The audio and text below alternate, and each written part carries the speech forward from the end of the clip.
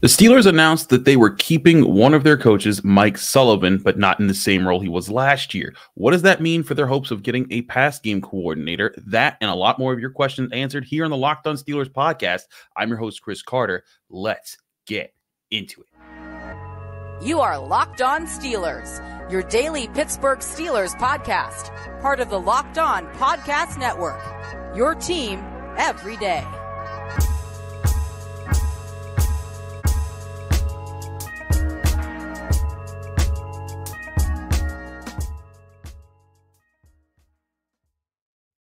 Hello and welcome to the Locked On Steelers podcast. I'm your host, Chris Carter, bringing you your daily dose of all things on the Pittsburgh Steelers. As always, you can find the show on your favorite podcasting apps and on YouTube.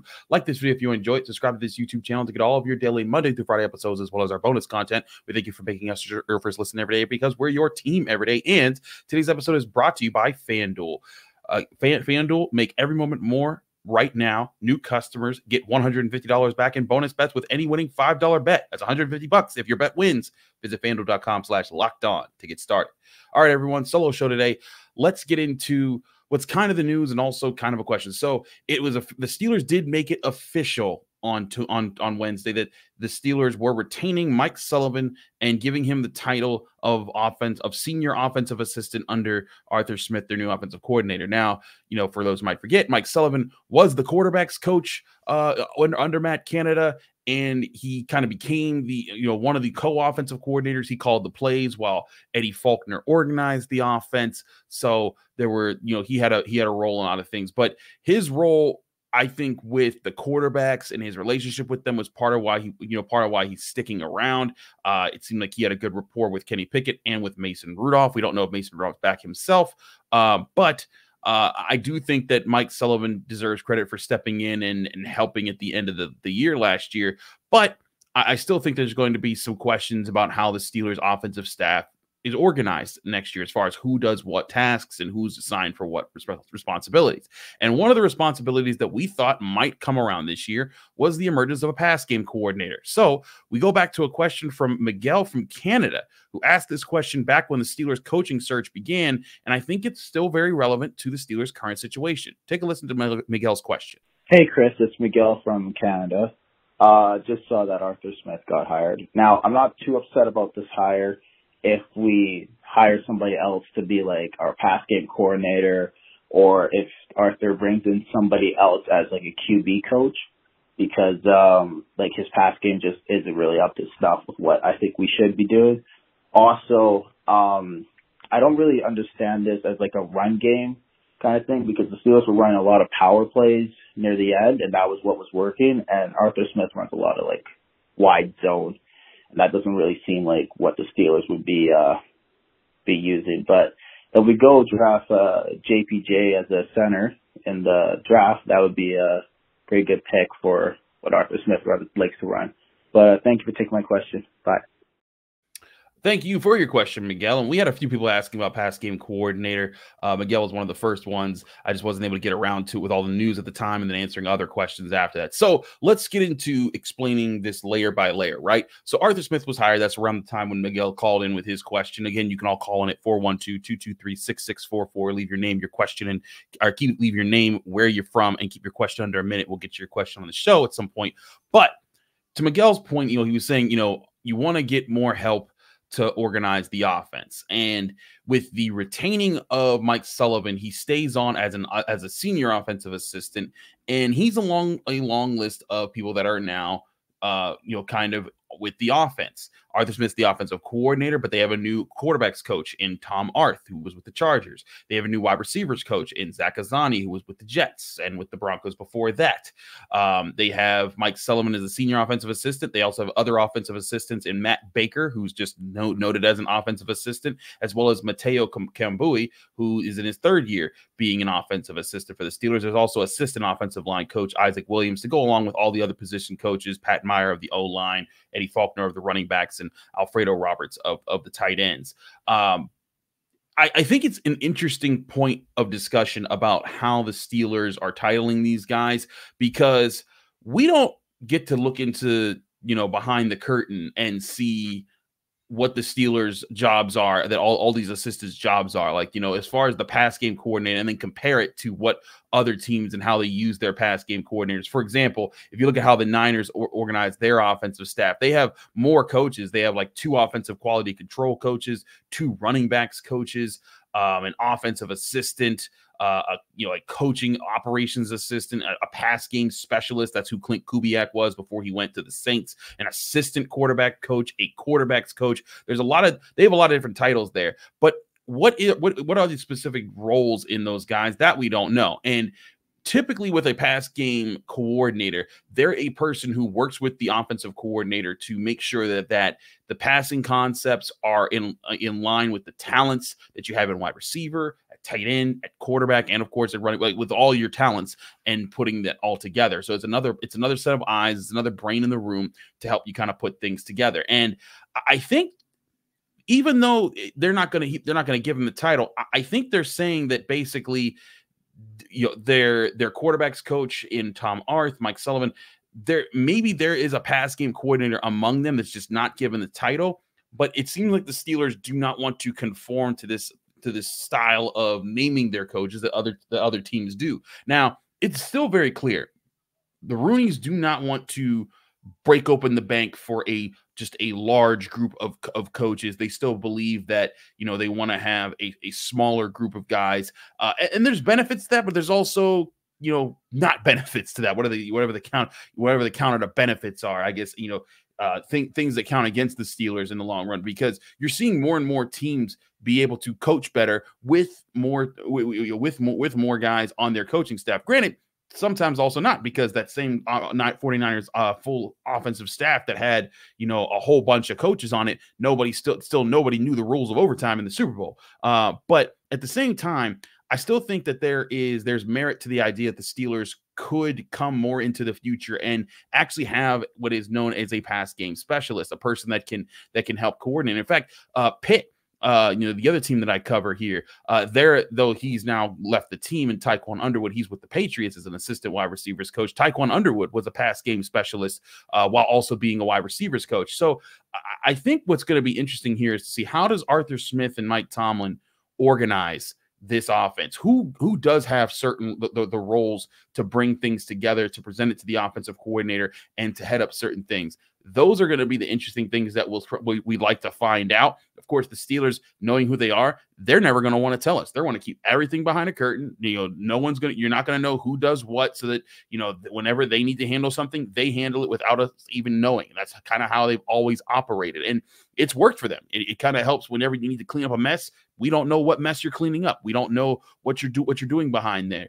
Um, but it will be interesting to see what kind of success this team has and what we learn about this offensive staff because also this is going to be a, a, different kind of adventure here. You know, Tom Arth, uh, Zach Azzanni these are guys that have never been with the team before, um, guys that have been brought in and they're going to be, you know, helping along with guys who've been here like Mike Sullivan and Mateo Kambui, but you also have a new guy like Matt Baker.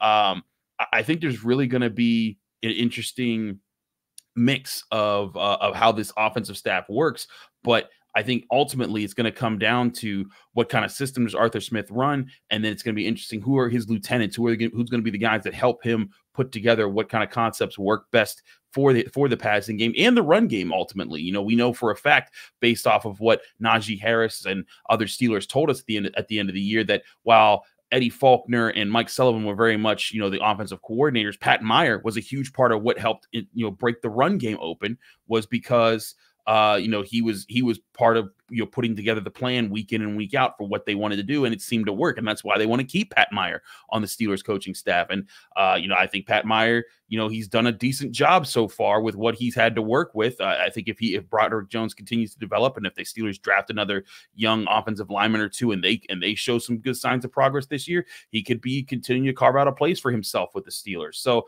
I think the Steelers they could still hire someone else. This doesn't mean that their offensive staff is complete, but it wouldn't shock me if it was complete athlete right now, and they're just moving forward with the group of guys that they have. Um, you know, and again, not having an official name for pass game coordinator, but maybe you know having all these guys kind of working together to put together that that game plan. The one thing, the only way we'll know how it works is when we see it come out in September and not in August, not in the preseason, because we saw how that worked last year when the preseason the offense was unstoppable, and then as soon as the, the season started, they went back to being what they were before they were unstoppable. So all that to be said, I think it's going to require patience. And I know a lot of people don't want to hear that because they're like, I just saw the season end. I want my answers now. But that's just not how, how it works. I do think it's going to be interesting to see, you know, these roles. We'll get to talk to some of these assistant coaches when they get back to mini camp and when we start talking to them then. And who knows, maybe we'll hear more at the combine or, you know, as as the as the year rolls on. And then we'll also see what positions the Steelers invest in the most in uh, in the draft because that'll also indicate where they're putting uh, a lot of their emphasis for uh the, for, for their building forward right now. But all that to be said means that they're still up in the air with what these ro- what, what, these roles are, or maybe they're not. Maybe they know what they are, but we don't know. And we'll keep an eye on things and try to learn as much as we can here on the Locked On Steelers podcast. We got more of your questions to answer here on the Locked On Steelers podcast. Uh, stay tuned. We got a lot more to discuss. We'll be right back.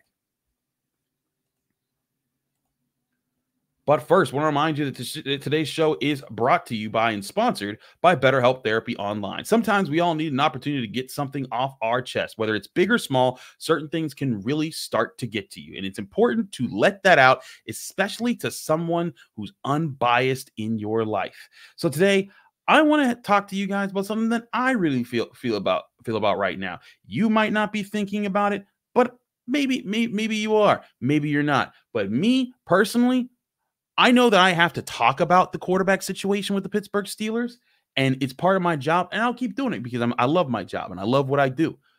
But I'm getting tired of people getting tired of me talking about it because some of y'all are like, Chris, talk about something else. And I'm like, listen, buddy, I just talked about this entire linebacker class and cornerback class. And then you guys get mad when I don't divert, when, I, when I eventually come back to the quarterback topic because it's not answered and people still keep asking questions. So stop getting mad at me. Go talk to your therapist, like I talked to mine on BetterHelp Therapy, uh, where you can where you can sign up right today. You can, if you're thinking of starting therapy, that's where BetterHelp can help can help you get uh, get get in line. Find it. Find a good therapist online who can you can talk to uh, and, and, schedule appointments 24 hours around the clock and figure figuring out what they want to do. It's again, BetterHelp therapy is done entirely online, designed to be flexible and suited to your schedule. Visit BetterHelp.com/slash locked on to get 10% off your first month. That's BetterHelp H E L P.com slash locked on.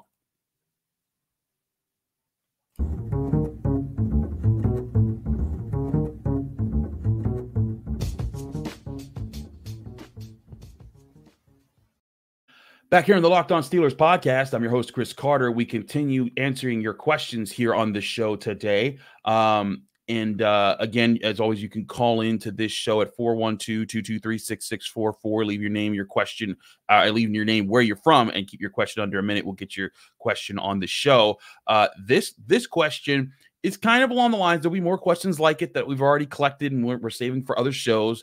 But I, I, thought it was good to kind of bring back into the fold, you know, free agent considerations. And uh, we have Noah from North Carolina who had a specific question about filling the quarterback position, and not a name that I've really heard yet, which I thought, which made me kind of pique my interest in this question. But here's Noah from North Carolina. Hey, Chris, Noah from North Carolina. Um, I know there's a lot of quarterback names being thrown out there, but one that I don't hear a lot or have even heard at all is Carson Wentz and he would be a very cheap addition. And his last full season, which was in Indy, he went 3,500 yards, 27 and 7. I think he would be a great addition, and he would be fairly cheap. All right, thank you. Have a good one for your question, Noah. I appreciate you calling into the Locked On Steelers hotline. And he's right. The last time he started a full season was in Indianapolis. That was uh, two seasons ago in 2021. He was 29 years old. Uh, the Colts went nine and eight with him as a starter, and uh, yeah, he threw 3,563 yards, 27 touchdowns, seven interceptions. Not a bad rate. Uh, of course, he didn't do too well with Washington the year after that. 11 touchdowns, nine interceptions, and then was a backup for the Rams uh, the past year. Car- Carson Wentz is a name. He's a guy that could certainly you know play if you know if if called upon. Um, but again, I I think the Steelers are are looking at guys who you know they could they can bring in who they who could either help with their system or help with their team. That's why we've been talking about Ryan Tannehill, though he's older than than Carson Wentz. He's a guy that knows Arthur Smith's system. It's why also I still don't rule out Mason Rudolph. And listen, I know that Mason Rudolph, you know, never had the kind of year that Carson Wentz did when he was younger. Uh, he was with the Eagles and he was on his way to being an NFL MVP before he suffered one of many injuries in his career. Uh, but I still think the Steelers there's still a chance that they bring Mason Rudolph back. And I know we had this conversation with Alan Saunders yesterday, and he thinks that the Steelers probably shouldn't or, w- or won't do, do it there. I, I don't rule it out. I think that it's still a possibility. Now, I, I also talk about the you know the chances that it won't happen because he might get an offer somewhere else and if he does i think that he'd be smart to take it um uh, especially if it's for like more than eight million dollars a year um but you know, I, I look at Carson Wentz and I, I say, okay, let's compare him to other quarterbacks that are currently out there in the free agent field. And again, this field could grow still because teams are still cutting players right now. Um, you know, there's rumors of eh, players that every team could cut. Heck, the Steelers are still going to cut some players that, that that'll be out there. Not quarterbacks right now because Kenny Pickett's the only quarterback on the roster. But um, you know, I think you know it was Alan Saunders brought up a you know an interesting idea, a Josh Dobbs, bringing him back. You know now that he's had NFL experience, he could be your third option again. A guy who's beloved here, that makes a lot of sense. Um, you know, you could bring him back not to be your starter, but to be an emergency guy who could come in and give you some some tough play in a pinch. Um, you know, there's other other guys out there. Uh, Tyler Huntley from the Ravens. He's another guy who has a, a, lot of NFL experience. He's athletic and he can fit. He could you could try to fit him in there. Um, you know, would Drew Lock of the Seahawks be another guy? And that's that's the thing here is that we can go through all these names and you'll be able to poke holes in them just like you just like you could poke holes in Carson Wentz and every other name, including Kenny Pickett or Mason Rudolph.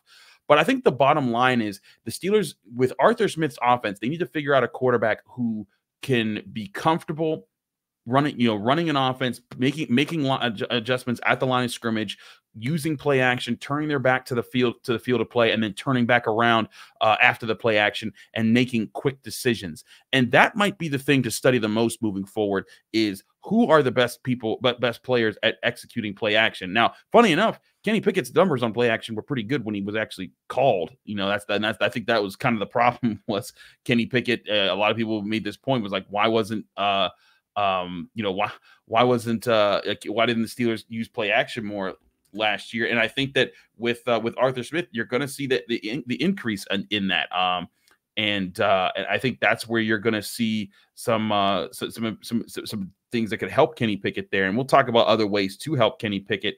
Um, you know, but play action you know, he completed 65% of his passes on. He was 43 of 66 for 343 yards. Um, and maybe he can be even better. And that was again, that was that was that was actually that was 2022. Excuse me, I'm looking at the wrong year there. Uh, but last year, two touchdowns, no interceptions. It was actually 79.2% completion rate. So uh, you're looking at a guy in Kenny Pickett in the in the last two years who's done fairly well at, at play action. Maybe using it more there, but I think you need to find other quarterbacks that have good uh good play action numbers and that might be you know what you're kind of looking at as far as who you want to have on your on, you know on on your team right now to run Arthur Smith's offense because again you're going to try to you know set things up with the run. That means you're going to need to have quarterbacks who can do the things that do well with the run you know? And I think that that's where um, things could get really really interesting to see is how you know how those different quarterbacks grade out over time. Um, you know, Ryan Tannehill certainly had a lot of success with that. You know, four years ago, th- three well, yeah, was it four years ago, three and four years ago uh, with the Titans with with Arthur Smith, and the Steelers need to see who else can kind of run that um, because if they can find other guys that can work with Kenny Pickett, then again, that's competition. Because right now, again, I'm still not sold on Kenny Pickett just automatically being the uh, the, the, starting quarterback next year. I know that he'll probably have the inside track uh, to start the to start training camp, but to me, you, he still has to prove a lot. And, and, you know, someone tweeted at me this question, He's like Chris, you know, if the Steelers, you know, what you know, if the Steelers go and get another quarterback who could be a starter, won't that, you know, you know, what does Kenny Pickett have to do to to not, make that not happen or to not worry about it? And my my answer was simple: just play better. That's all the Steelers want is just a a quarterback who just does what he's supposed to do in the scheme. They're not asking a ton a, a ton here. They're, they're just trying to get uh, Kenny Pickett to be able to make stand, standard plays. Um, so if if Kenny Pickett can do that, I think that that could be you know, a, a, big help. Um, you know, but like there's plenty of people that benefited from play action this past year. Jared Goff was a really good play action passer for the Lions. He, he threw 10 touchdowns and one interception. Tua Tagovailoa, eight touchdowns, two interceptions. Jordan Love, 12 touchdowns and three interceptions. CJ Stroud, 10 touchdowns and two interceptions. Those are those are guys that were benefiting from that. And you know, maybe the, the Steelers could put themselves in more situations that help them in those situations. And uh you know, an interesting name that we will probably bring up on another sh- later show at some point. Gardner Minshew, seven touchdowns, three interceptions on uh, on uh, play action passes, also threw for about 900 almost a thousand yards on play action passes last year. Uh you know josh dobbs also fairly fairly decent on play action 709 yards three touchdowns one interception. Point being we can go down this list and keep going over names for a while. But the point here is that i think that the steelers carson wentz you know could he be a guy Sure, he's he's a veteran out there, and he's got he's he's got some talent. He has a lot of experience. He could bring you something there. But the Steelers need to get their guys who are going to play their system well. And I think that the question is, what's the situation you're you're going to want your quarterback to be the most prepared, the most comfortable in? And if it's play action passes, if it's the deep ball, if it's you know short game offense, whatever it is, find quarterbacks that play that very well. Bring them into training camp. Whoever's your starter after that, you roll with as a starter in week one, and then you go from there and handle the season as it is. But that's who I think the Steelers should be target targeting free agency. It shouldn't just be a name just because you like the name. It they should have a lot of reason behind it. But we have other questions to answer here on the Locked On Steelers podcast. I'm your host, Chris Carter. Stick with us. We still got a lot more to discuss.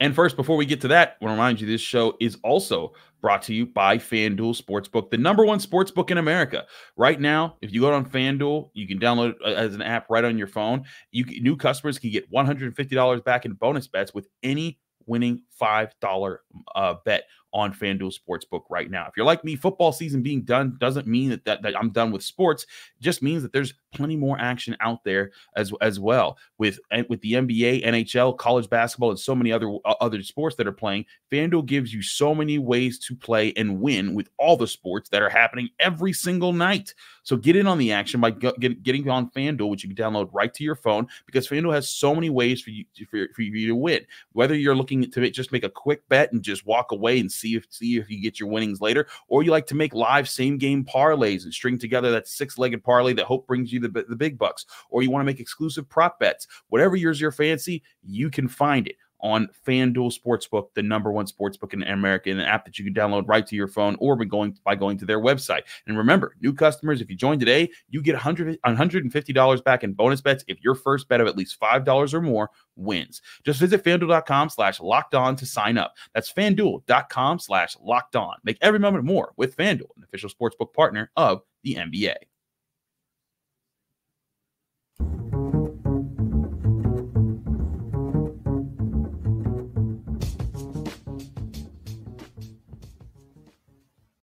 We're back here in the Locked On Steelers podcast. I'm your host, Chris Carter, on the Thursday edition here. Um, let's get into a few more things. For one, uh, the combine now less than a week away. This time next week, we'll be talking to players in Indianapolis. I'll be there. Uh, we'll be trying to get in clips of that for the show and moving, move, working on those types of things. Um, uh, but before we get to, the, to, to that, I think that people are still wondering why haven't certain things happened yet. Free agency is going to happen shortly after the combine. Pro days are going to happen. Steelers are going to make, make make decisions by by then, and I think there's still an anxiousness by, from Steelers fans out there. At least there was from our friend Jordan in Philadelphia. Now, uh, Jordan call, called in from Philly, and I wanted I want to give Jordan a pass here because he called in this was weeks ago, and I wasn't able to get him on the show because we were addressing a lot of the news as it was happening, and we were taking a lot of your other calls.